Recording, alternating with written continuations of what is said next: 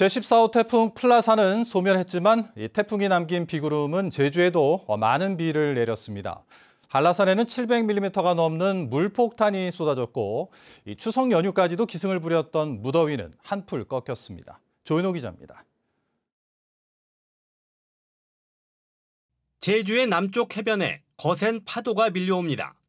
먼 바다에서 밀려온 물결이 해안에 부딪혀 너울성 파도를 일으킨 것입니다.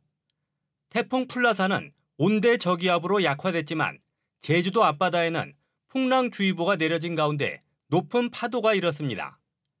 한라산에는 지난 19일부터 사흘 동안 700mm가 넘는 물폭탄이 쏟아졌습니다. 중산간 지역에도 사흘 동안 200mm가 넘는 누적 강수량을 기록했습니다. 추석 연휴까지도 폭염이 이어지면서 말라있던 하천인데요. 한라산에 많은 비가 내리면서 이처럼 빗물이 흙탕물을 잃어 흐르고 있습니다. 강풍주의보가 내려진 가운데 한라산에서는 초속 28m의 강풍이 관측됐고 제주 공항에서는 남부 지방의 집중호우 때문에 일부 항공기가 지연됐습니다.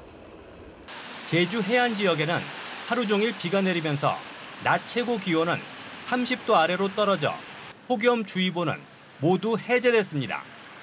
내일 아침까지는 정체 전선의 영향으로 흐리고 비가 내리는 곳이 있겠고 이후 모레 새벽까지는 동해 북부 해상으로 이동하는 고기압의 영향으로 북동풍이 매우 강하게 유입되면서 산지와 북동부 지역을 중심으로 비가 내리는 곳이 있겠습니다.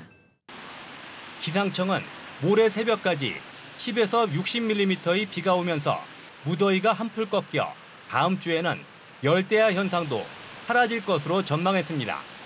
MBC 뉴스 조은우입니다.